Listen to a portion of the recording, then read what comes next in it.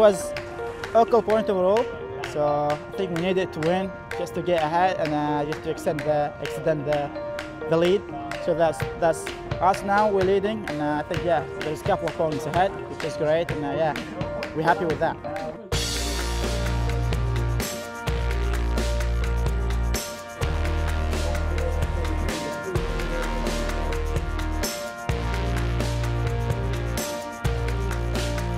Yeah, it a fantastic start to the day and it really got the ball rolling for us.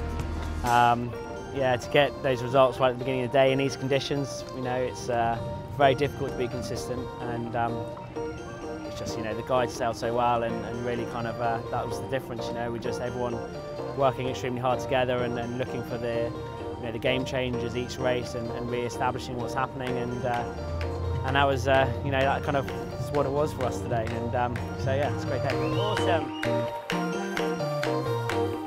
Woo! Come on!